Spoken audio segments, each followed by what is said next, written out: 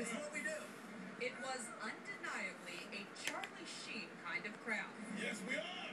More like the Vegas Strip than the District of Columbia, replete with failed reality stars Tareq and Michaele Salahi. We think it's great, and we love them, and uh, We love you, Charlie. yeah, and good for for being here and having a little fun and bringing some Hollywood to uh, DC.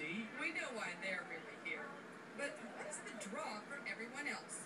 The event was not sold out, but it to be reasonably well attended. You won ticket. On 105.9 The Edge, Yeah. and I had to pretend to be like Charlie Sheen, and that's how I won. He forced me to come. That's the only reason I'm here. And by winning, He's a character, you know? Be uh, pretty interesting to see him. What he's got to say. Winning, duh!